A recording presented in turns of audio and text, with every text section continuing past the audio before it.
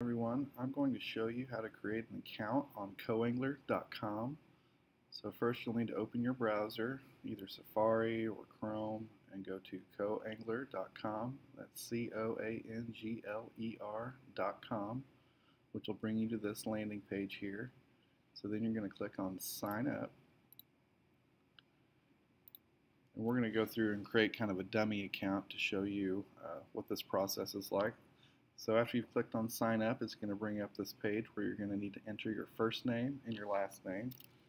So we're going to call this John Doe. Click continue. Next you're going to need to create a username. This is what's actually going to be tied to your profile uh, URL or your .com. So whatever you choose here, you'll be able to go to coangler.com backslash app backslash profile backslash your username. So we're going to call this uh, test one, two, three, four. Pick a birth date. Click continue. Now you're going to need to add your email. This is your email that will then send you a confirmation code. So click continue. Now you're going to want to enter your password.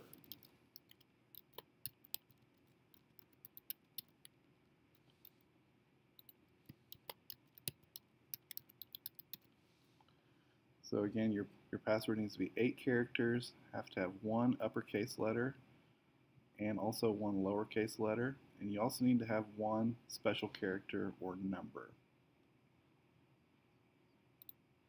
Click continue.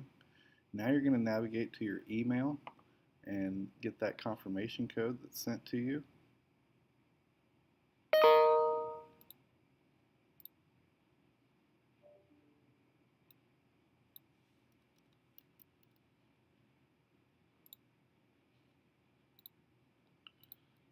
Copy and paste that code, hit enter, and click sign up.